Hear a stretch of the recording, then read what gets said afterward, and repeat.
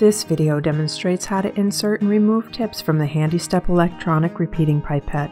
It's intended as a general guide and not a substitute for your operating manual. Before working with the HandyStep electronic, wear all the appropriate personal protective equipment and observe all safety precautions. To prepare your HandyStep electronic for tip insertion, lift the locking lever on the back side of the instrument, slide the BRAND PD tip fully into the instrument, and lower the locking lever. The instrument should slightly lift and lower the piston of the PD tip to automatically identify the tip size. If a third-party tip is used, the display will flash and you will need to manually enter the tip size. Never twist the tip inside the instrument as this can cause damage to your unit. Once pipetting is completed, it will be necessary to lower the tip piston to the lowest position prior to tip removal. This can be achieved by pushing the downward pointing arrow button and an E for empty will be shown on your screen.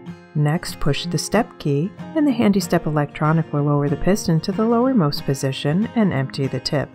As always, make sure there is an appropriate receptacle to collect the ejected liquid. The tip can now be removed. Simply lift the locking lever and slide the tip out. If you have additional questions and are located in the US or Canada, contact Brandtech Scientific Customer Service Department. And for those from other regions, contact your local brand representative.